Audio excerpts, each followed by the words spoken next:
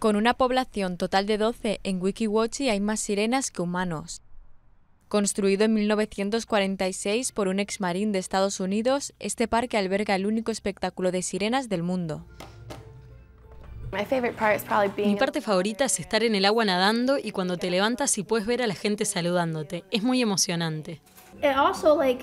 Cuando los adultos me preguntan, es como si fueran pequeños también. Vienen aquí y me dicen, oh, sirenas, qué bonito. Así que traen a los niños con ellos. El espectáculo está a punto de comenzar y es hora de bajar por el tubo. Veinte chicas durante todo el año forman el equipo, la mayoría estudiantes universitarias.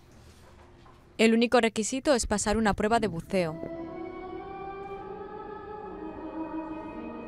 Alrededor de 260.000 visitantes vienen cada año a ver una de las tres actuaciones diarias. La idea original era llevar la natación sincronizada bajo el agua, y los trajes de sirena se añadieron en la década de los 60.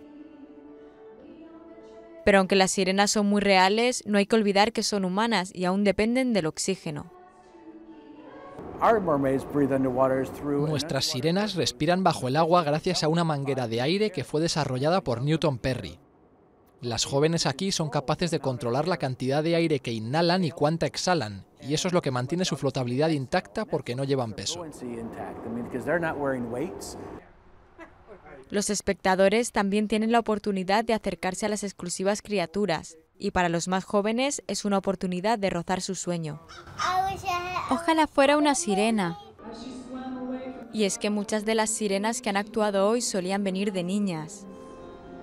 Mientras la pequeña Siena mira el espectáculo, sabe que su sueño de convertirse en una de ellas podría hacerse realidad.